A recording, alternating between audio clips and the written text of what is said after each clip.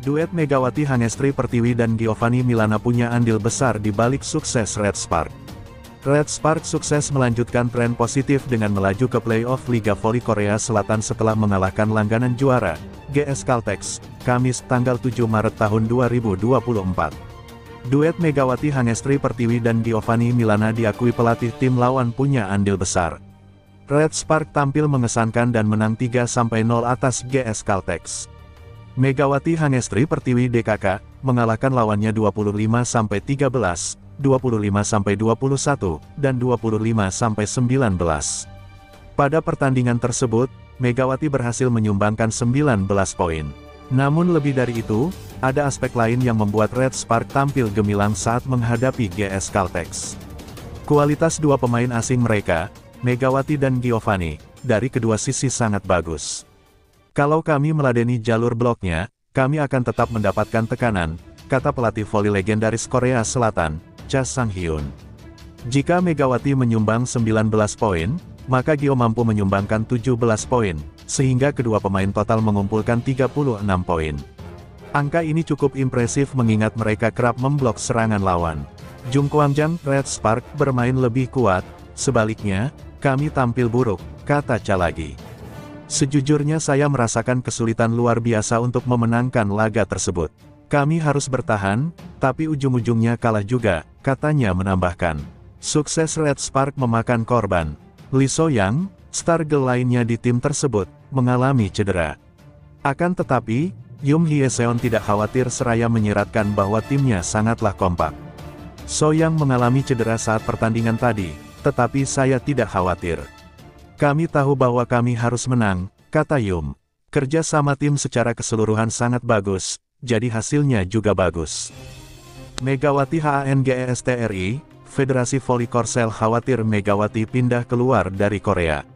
Megawati Hangestri dan Giovanni Milana merupakan pemain asing yang didatangkan oleh Jung Kwan Yang Red Spark pada musim 2023 per 2024. Megatron julukan Mega terpilih melalui draft kuota pemain Asia, bersama Ponpun Park, IBK Altos Reina Tokoku, Pink Speeders dan Wipawi Sritong, Hyundai Hillstead dan Marjana Philips I Peppers.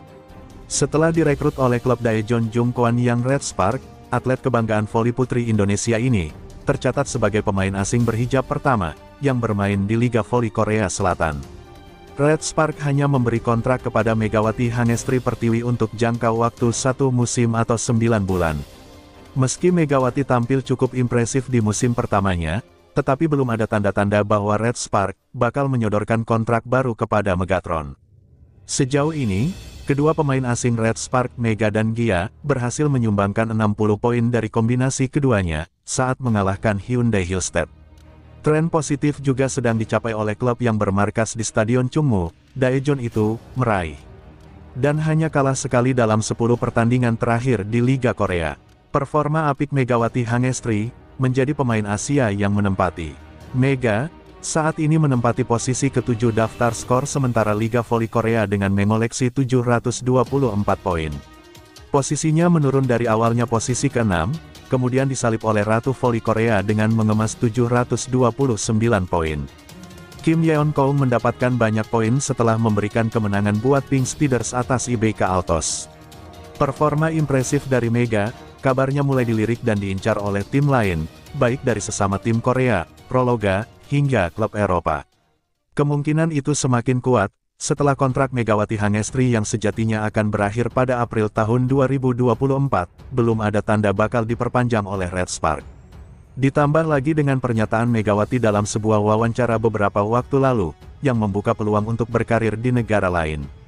Mungkin akan ada negara-negara lain yang bakal aku coba, karena aku ingin menambah pengalaman juga, dan mengasah skillku. Di negara lain, kan beda lagi cara latihannya dan aku bisa belajar dari itu, kata Mega di YouTube ASEAN Korea Center. Situasi inilah yang membuat Federasi Bola Voli Korea Selatan KOVO mulai khawatir, bila Megawati tidak bertahan di V-League untuk musim depan. Kehadiran Megawati Hangestri di V-League musim ini, memang memberikan dampak besar dan membuat olahraga voli Korea semakin dikenal banyak orang dari mancanegara. Mega jadi sorotan berbagai media Korea, sejak kedatangannya membela Red Spark. Kepopuleran Mega di Liga Voli Korea membuat SBS Sports melakukan liputan khusus selama satu jam terhadap pemain yang berposisi sebagai opposite hitter itu. Media Korea sebut Red Spark bakal keluarkan uang berapapun asalkan Megawati Hangestri mau bertahan di Liga Korea musim depan. Salah satu kontestan Felix tahun 2023 sampai tahun 2024 yakni Red Spark dikabarkan bakal memperpanjang kontrak pemainnya yaitu Megawati Hangestri.